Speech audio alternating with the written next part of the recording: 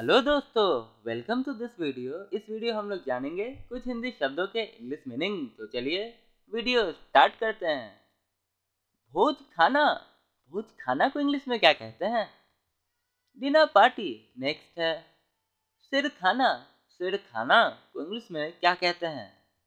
Unusable next है। मार खाना। मार खाना को इंग्लिश में क्या कहते हैं? To get beaten up next है। ठोकर खाना ठोकर खाना को इंग्लिश में क्या कहते हैं? टू स्टम्बल नेक्स्ट है। बचा हुआ खाना, बचा हुआ खाना को इंग्लिश में क्या कहते हैं? लेफ़्ट ओवर फ़ूड नेक्स्ट है। खाना बर्बाद ना करे, खाना बर्बाद ना करे को इंग्लिश में क्या कहते हैं? डोंट वेस्ट फ़ूड नेक्स्ट है। खाना पीना हो गया, खाना पीना हो गया को इंग्लिश में क्या कहते हैं? डन विथ ईटिंग नेक्स्ट है, खाना बन गया क्या?